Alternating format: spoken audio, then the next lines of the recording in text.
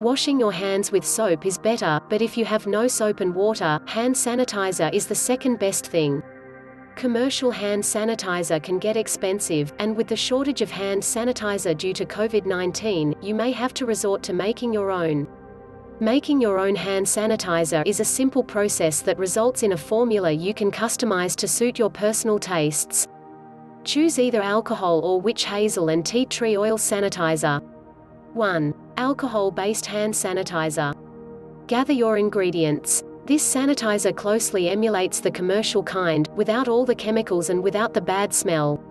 Hand sanitizer should not replace hand washing, just use it when you really need it. Here's what you'll need. 2 thirds cup 99% rubbing alcohol isopropyl alcohol or 190 proof grain alcohol. 1 third cup pure aloe vera gel preferably without additives. 8 to 10 drops essential oil, such as lavender, clove, cinnamon, or peppermint. Mixing bowl. Spoon. Funnel. Plastic container.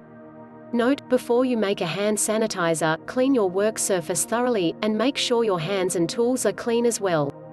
2. Mix the alcohol and aloe vera gel in the bowl. Pour the ingredients into the bowl and use the spoon to mix them together well. The mixture should be completely smooth. If you want the solution to be thicker, add another spoonful of aloe vera. Or thin it out by adding another spoonful of alcohol. Always use a 2 to 1 proportion of alcohol to aloe vera.